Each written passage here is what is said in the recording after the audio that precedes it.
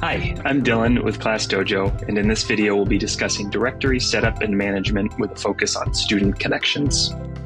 Before we get started, it is important to note that many of the capabilities I'll demonstrate in this video are only possible with an admin or school leader type account. So if you are not able to take some of the steps I'm about to describe, that might be why.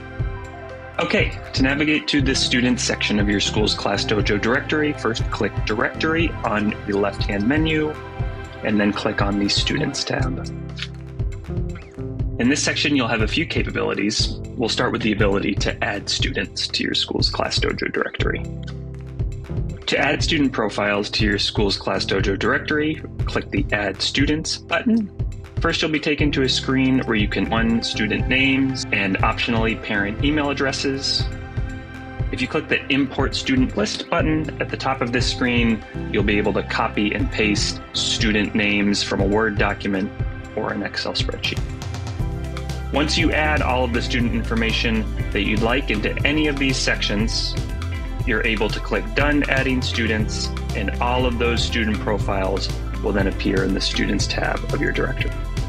Next, we'll talk about the option to graduate or remove student profiles.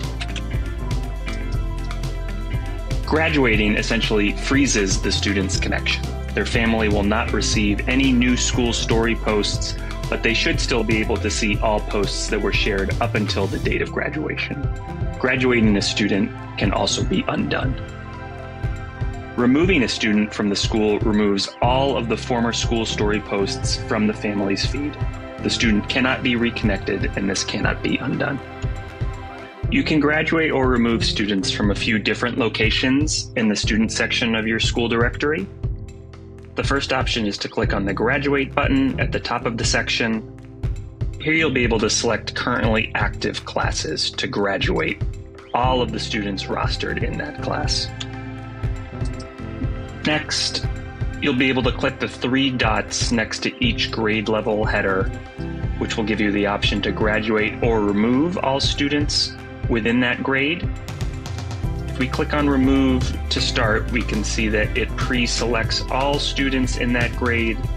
You'll have the option to unselect students that you may not want to remove, but then ultimately we'll be able to click the red remove button at the bottom of the screen to remove all selected students.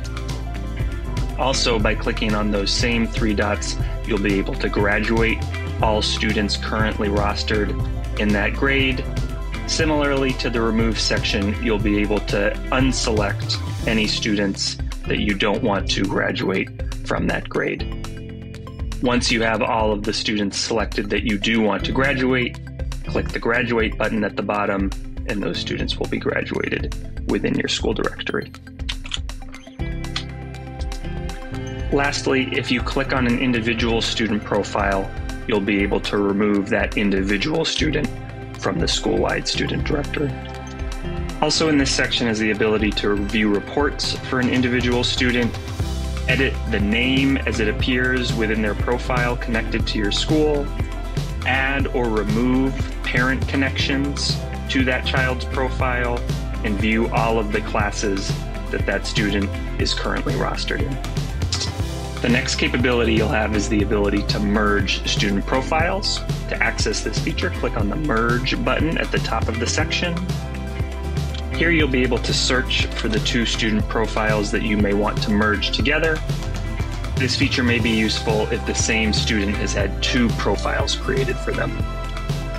For more information on this feature, you can either click on the More Info button at the bottom of the section or access the Class Dojo Help Desk article on merging duplicate student lists. Student profiles get added to the grade level category of whatever their highest grade level class is within your school's Class Dojo class directory.